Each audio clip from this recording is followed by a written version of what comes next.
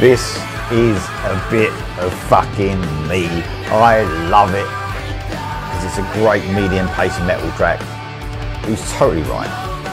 This really is me all over. like that. It's just I'm so hooked on this song.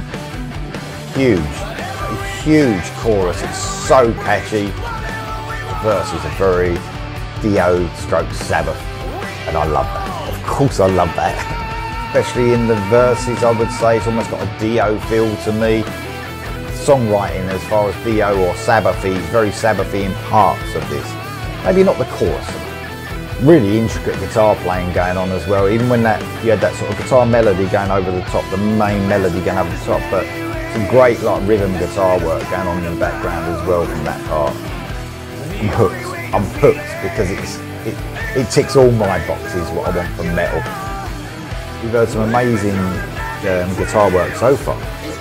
This is perfect for me. Absolutely perfect. This is brilliant.